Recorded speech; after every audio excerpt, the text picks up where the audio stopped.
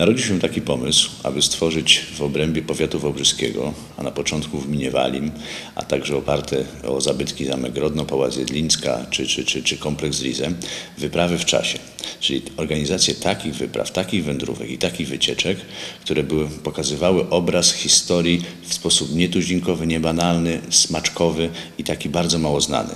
Czyli ogólnie hasło jest takie, że poprzez historię zwykłych ludzi, poszukiwania, śledztwa, dokumenty,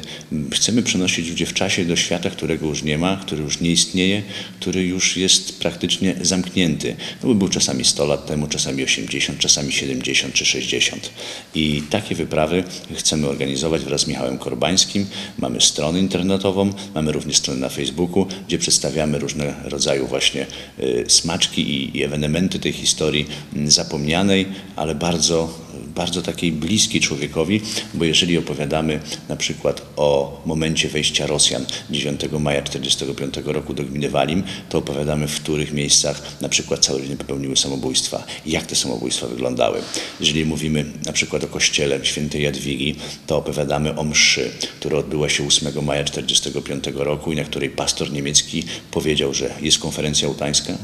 ale on wierzy na przykład, że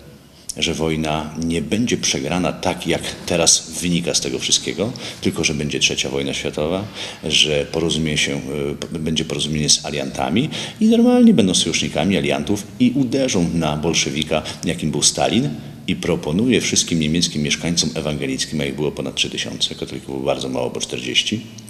Proponuje im, aby wszystkie depozyty, jakie posiadają ze sobą, kosztowności, pieniądze, no, mm, obligacje, dokumenty, przynosili do niego i on w kryptach będzie chował, kiedy czas się przełoży na ich korzyść, to to wszystko wyciągną. Także te wyprawy w czasie to właśnie taki obraz świata, którego nie ma. Poprzez te historie zdobywane, ja od 10 lat prowadzę wywiady z ludźmi, nie tylko z Polakami, ale głównie też z niemiecką ludnością, która tu mieszkała. Tyle zaufania człowiek zdobył wobec nich poprzez różne, powiedzmy tam, no, jakby to powiedzieć, poprzez różne rozmowy i, i, i, i przyjaźnie i te informacje są, są naprawdę niepublikowane, nieznane i do tego chcemy właśnie zachęcić ludzi, a przeważnie szkoły, żeby ten obraz pokazać. Mało tego, jest opcja taka, że chodząc po niektórych miejscach, zarówno Zamku Grodny, jak i w Pałacu Wiedlińcy, jak i w kompleksie Lize, czy po ulicach Walimia, czy jeszcze innych miejscowościach, chcę, aby ludzie dotykali tego w sposób taki, że jeżeli opowiadamy o człowieku, który był księgarzem w Walimiu i nazywał się dokładnie,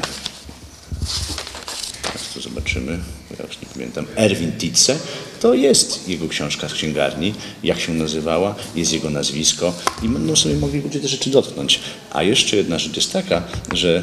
najbardziej ciekawym tematem, który, który byśmy chcieli pokazać, to to, jeżeli będziemy oglądali pewne rzeczy, to chciałbym, żeby ludzie dostali, dostaną ode mnie zdjęcia, jak ten temat wyglądał kiedyś. Jeżeli na przykład stoimy przed domem pastora i mówimy o tym, o tej całej mszy, którą przed chwilą opowiadałem, to chciałbym, żeby ludzie dostali zdjęcie i dostaną, jak ten pastor wyglądał. Jak wyglądała jego rodzina i gdzie tak naprawdę mieszkał. I w ten czas ta wyprawa w czasie, tego obraz, tego wehikułu czasu ze wszystkimi emocjami i, i zmysłami naprawdę jest, jest, jest bardzo mocny i, i bystry i, i pozwoli tę historię zrozumieć.